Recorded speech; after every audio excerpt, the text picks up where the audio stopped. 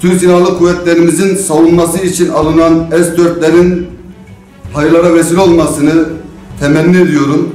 Diğer taraftan Türk Silahlı Kuvvetlerimiz Suriye'de Zeytin Dalı, Fırat Kalkanı, Barış Pınarı gibi hayırlı çalışmalar, hayırlı operasyonlar yapmıştır.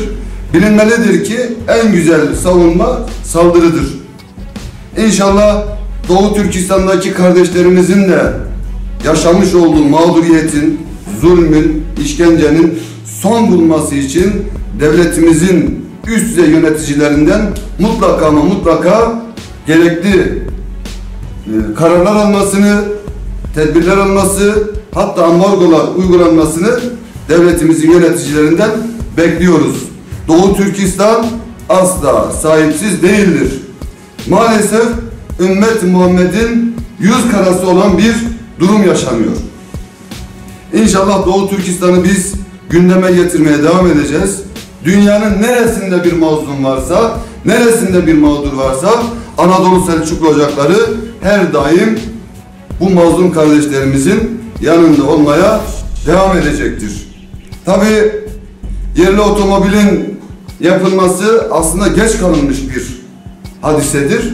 Biz Anadolu Selçuklu Ocakları olarak inşallah yerli otomobilin çıkmasını destekliyoruz. Biz de inşallah e, bir adet olmak üzere siparişimizi yakın bir zamanda inşallah hayata geçireceğiz.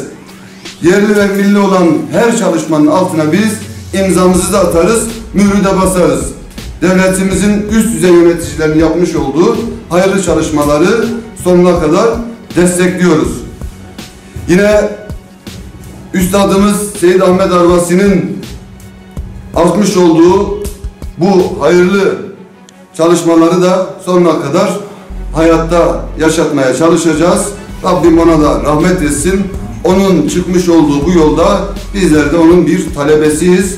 Onun yolu yolumuzdur. İnşallah Rabbim hayırlara vesile kılsın.